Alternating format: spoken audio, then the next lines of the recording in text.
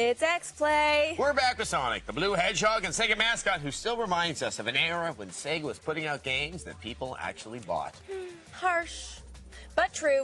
So what's the little spiky guy up to this time? Why, a DS game, of course. And it may bring back a little of Sega's past glory. Yes, the small mammal, who is clearly jacked up on amphetamines, is running laps around Nintendo's handheld, and we couldn't be happier. Well, actually, we could be happier, but it would involve a truck full of money, chocolate, and the love of a parent who never acknowledged me. Have you told your therapist that? Yeah. Well, here's our review of Sonic Rush for the Nintendo DS. Let's do it! Much like the bad guys from Superman 2, Sonic the Hedgehog has returned to the second dimension. Sonic Rush for the Nintendo DS is out to make you forget about this furball's terrible 3D adventure games. This time, the action is split between the system's two screens, so if you fall from the top window, you'll land safely on the bottom one.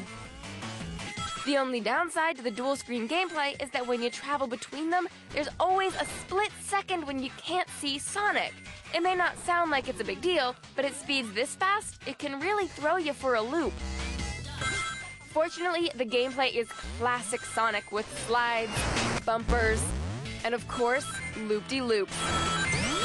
Plus, the game's inventive boss battles sport a clever mix of two-dimensional controls and 3D camera angles.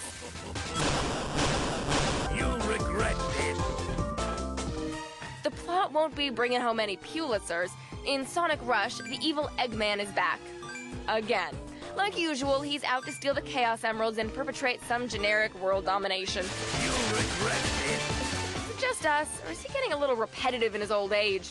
You'll regret this. All right, we get it. We're gonna regret this. You'll regret this. As usual, you're assisted by your friend Tails, and boy, is he happy to see you. All right, Sonic's here. Almost too happy. Yes, yes, yes. And you guys need some time apart. Do your best, Sonic. Sonic Rush features a nifty dash attack that adds some strategy. So you can't just hold down the right button the whole time. Plus, the game introduces a brand new playable character, Blaze the Cat.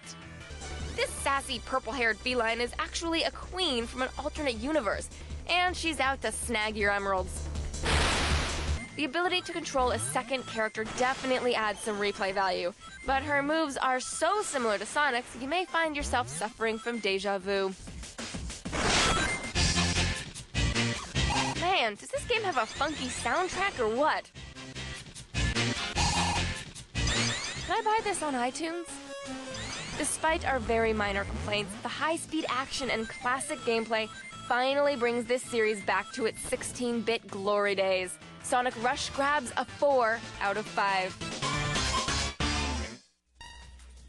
Another solid DS game in a long line of solid DS games. And if you'd like to see reviews of other DS games or our Xbox 360 reviews, you can download video podcasts of them for free at g4tv.com or iTunes. And you know, you don't even need a video iPod. You can watch any of our reviews or special segments like the X-Play board song or zombie outtakes. You can watch it on your computer. What's a computer?